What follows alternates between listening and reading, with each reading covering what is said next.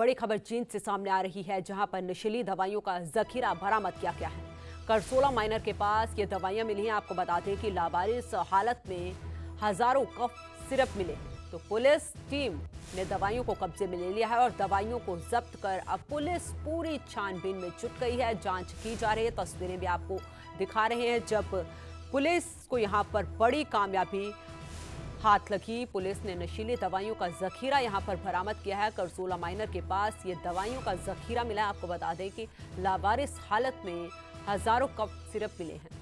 हालाँकि police team ने दवाइयों को कब्जे में ले लिया है और साथ ही साथ दवाइयों को जब्त कर पुलिस जाँच में जुट गई है और ये पता लगाने की कोशिश की जा रही है कि आखिर ये बैग, ये दवाइयाँ यहाँ पर किसने रखी?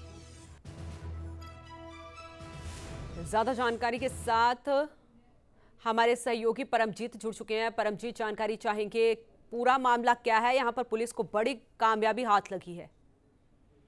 बिल्कुल, देखिए जीन के जुलाना का ये मामला है और लावारिस ये दवाइयाँ मिली है जिसमें मैं आपको बता दूँ।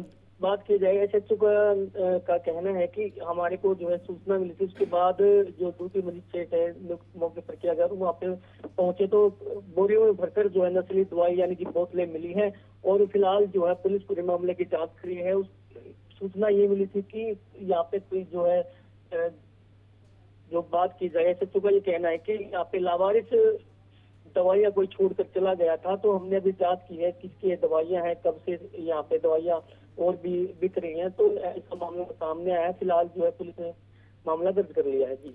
हाँ परमजीत ये जानकारी भी चाहेंगे कि सिर्फ़ एक ही कप सिरप है या कुछ और दवाइयाँ भी हैं?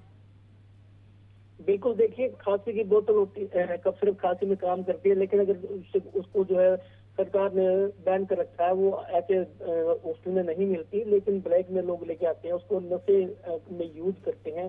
काफ़ी ऐसी जो है, दवाइयों की चीज़ें मिली हैं, जो कि नशे में यूज़ होती हैं।